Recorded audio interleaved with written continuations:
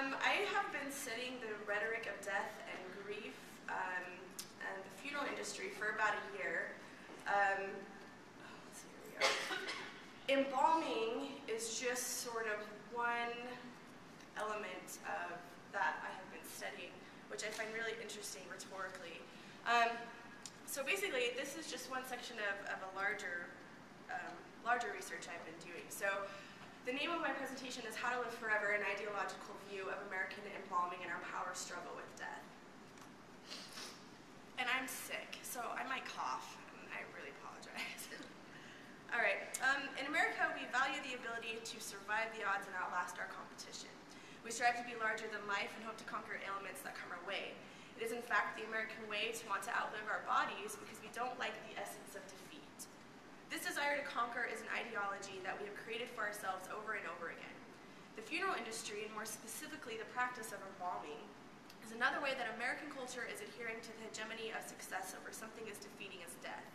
Therefore, our American response when something interferes with this ideology of survival is to fight death with whatever means that we can, even if we are ignorant of what those means entail.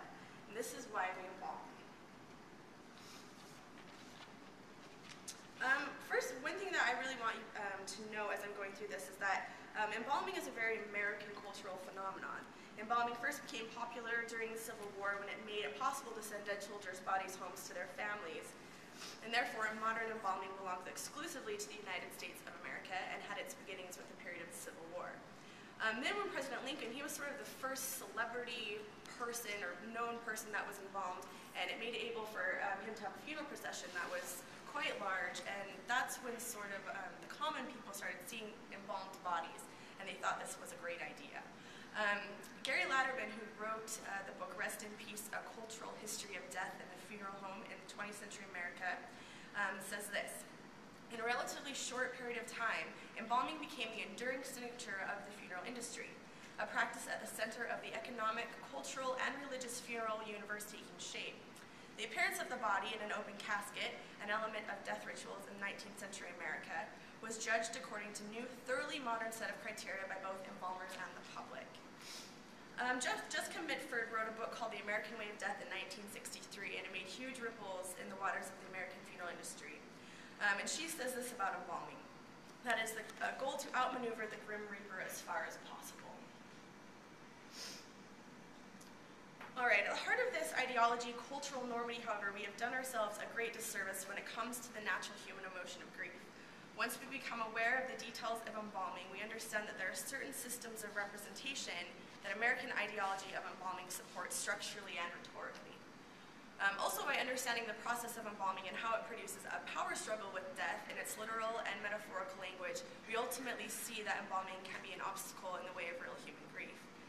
Um, as I've been researching the embalming process and everything it entails, I found it interesting that the American public is not at all aware of the details of what that process is.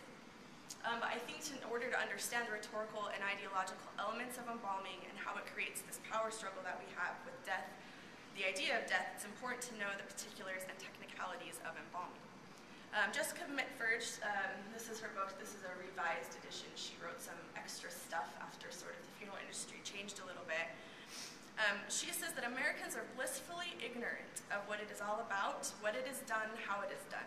Not one in 10,000 has any idea of what actually takes place. And even now, 50 years later, after Mitford's first um, book came out, Americans are still very much unaware of this process. So I'm going to talk about that a little bit. Um, so because it's important to be aware of what the evolving process is to understand the ideology that it supports, we have to discuss it in detail. Uh, the process does not get unveiled to those arranging a funeral due to the violent nature of the details and the line that those details might cross in respecting a dead body. Um, despite this, Americans tend to view embalming as a procedure that produces some type of life back into the person they wish were not dead. This process itself has become hegemonized, providing a sense that things are the way they have to be, asserting that its meanings are the real and natural ones. Um, the process has been hegemonized because the funeral industry has stated over and over that it's a necessary part of the process. Therefore, the power remains secluded within the industry because it appears that it's the way it has to be. The public then stands behind this ideology, assuming that is the natural binary and not questioning the